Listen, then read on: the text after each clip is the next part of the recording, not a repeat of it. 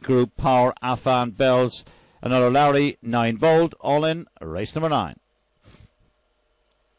Up they go away and racing on the inside. One is away smartly from four, five, six, two, and three as they head on down to the opening corner. Around in front, Tuckeys Victor takes the field down the back. Gone about four or five lengths clear from the chasing pack, headed by three and six. Down they go to the third bend. One, six, five, three, the order up front. They're going to have to run to catch the one in front. That's Tuckeys Victor now, who's still got about a five or six length advantage. Six beginning to close now, but will not get there. It's going to finish one, six, close third maybe two just for third, and there they go.